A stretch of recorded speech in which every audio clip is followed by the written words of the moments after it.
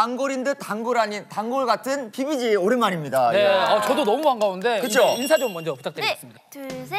안녕하세요. 비비지입니다.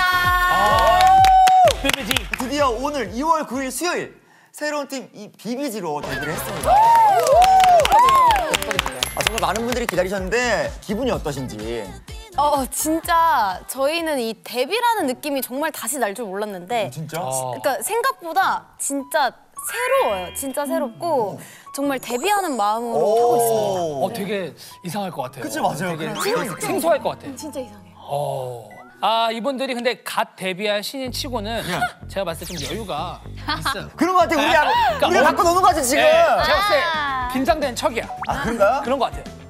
은하 씨 본인이 본인 해시태그를 이모라고 적으셨더라고요. 아, 맞습니다. 네, 이모라고 적으신 이유가 있나요? 어, 저희 친언니가 아들을 낳았거든요. 12월에. 어, 너무 축하드립니다. 진짜 너무 예뻐요. 우와. 이모 맞네 그럼 조카가 네. 생겼으니까. 맞긴 하네요. 예. 예.